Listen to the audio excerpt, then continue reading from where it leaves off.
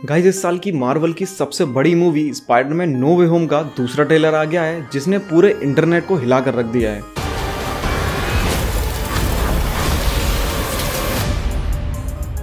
मैं trailer breakdown तो upload नहीं कर पाया, लेकिन इस वीडियो में मैं इस ट्रेलर में दिखाई गई कुछ मेजर डिटेल्स और कुछ क्वेश्चंस के आंसर्स को एक्सप्लेन करूँगा। So watch this video till the end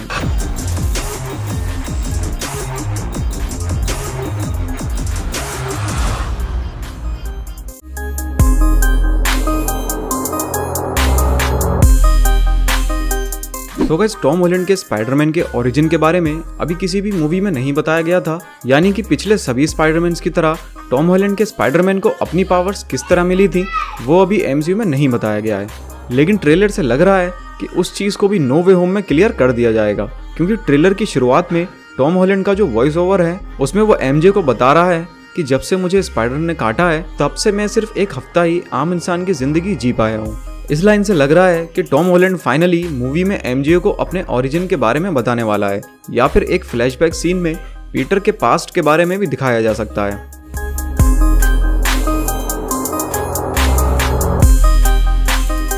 Spiderman का ब्लैक सूट आखिरी बार हमें सैम राइमी की स्पाइडरमैन सीरीज़ में देखने को मिला था।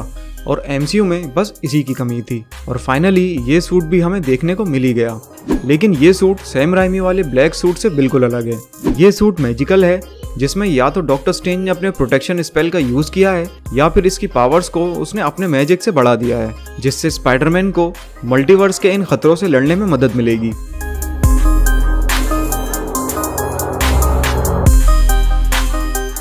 इस ट्रेलर में डॉक्टर स्ट्रेंज का भी वॉइस ओवर है, जिसमें वो बताना चाह रहा है कि सभी स्पाइडरमैन विलन्स अपने अपने यूनिवर्स में स्पाइडरमैन से लड़ते हुए मारे गए थे, और यही उनकी किस्मत है। इसीलिए वो इस मिस्टीरियस बॉक्स की मदद से उन सभी को उनके पॉइंट ऑफ़ ओरिजिन पे वापस भेजना चाहेगा। लेकिन रूमर्स के हिसाब से स्पाइडरमैन किसी वजह से डॉक्टर स्ट्रेंज को ऐसा करने से रोकेगा, और उसी वक्त हमें इन दोनों के बीच ये छोटी सी लड़ाई देखने को मिलेगी।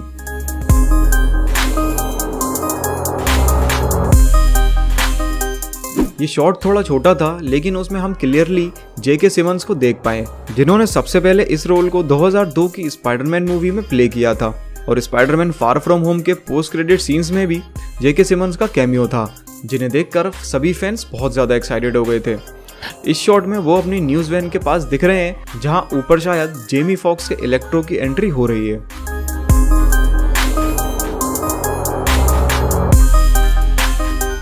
अब अगर इलेक्ट्रो की बात करें तो इस ट्रेलर में इलेक्ट्रो का भी एक क्लियर लुक हमें मिल पाया। इस मूवी में इलेक्ट्रो का लुक उसके अमेजिंग स्पाइडरमैन वाले लुक से बिल्कुल अलग होने वाला है, क्योंकि इस मूवी में उसको अपनी पावर्स इस सूट से मिलेंगी, जबकि दी अमेजिंग स्पाइडरमैन में वो खुद ही एक ब्लू कलर की इलेक्ट्रिसिटी में ट्रांसफॉर्म हो गया था। लेकिन इस मूवी में इलेक्ट्रो को उसके कॉमिक बुक वाले लुक के हिसाब से पूरा चेंज कर दिया गया है।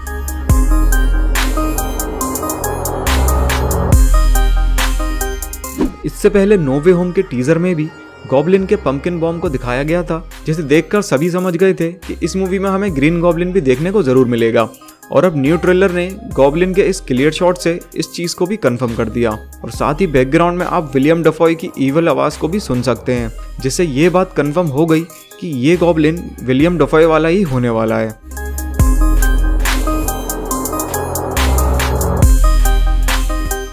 ट्रेलर में एक और सीन है, जो बहुत छोटा है, लेकिन उसको अगर आप स्लो मोशन में देखेंगे तो आप देख पाएँगे कि उस सीन में गॉबलिन के ग्लाइडर को कोई और ही राइड कर रहा है और बहुत सारे ग्रीन बॉम्ब्स फेंक रहा है। ये बंदा कहीं से भी विलियम डोफॉय वाला ग्रीन गॉबलिन नहीं लग रहा और ये जो बॉम्ब फेंक रहा है, उसका शेप भी बिल्कुल डिफरेंट है और इसीलिए यहाँ पॉसिबिलिटी क्रिएट हो जाती है एक और नए गॉबलिन की, जो हमें दी अमेजिंग स्पाइडरमैन टू में दिखाया गया था जहाँ गॉबलिन विलियम डोफॉय नहीं, बल्कि हैरी ऑसबॉर्न था। तो हो सकता है वो वाला गॉबलिन भी हमें इस मूवी में दिखाया जाए। क्योंकि अब जब सभी विलन्स आ रहे हैं तो उसको क्यों छोड़ा जाएगा?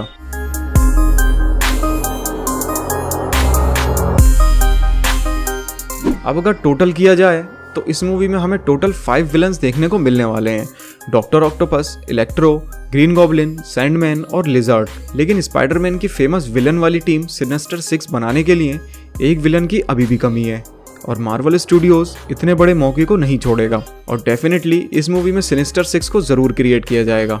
लेकिन वो सिक्स विलन कौन हो सकता है, इसके बारे में अभी कोई जानकारी नहीं है।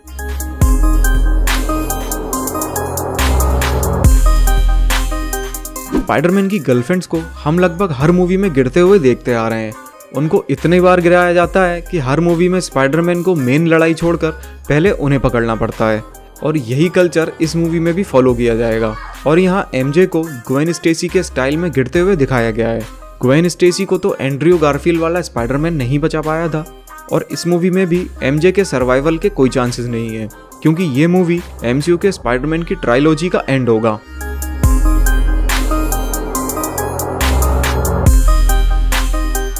इस ट्रेलर के क्लोजिंग सीन में एक पर्पल एनर्जी को सिटी के अराउंड दिखाया गया है, जिसे देखकर डॉक्टर स्टेंज कह रहा है कि वो आ रहे हैं और मैं उन्हें नहीं रोक सकता।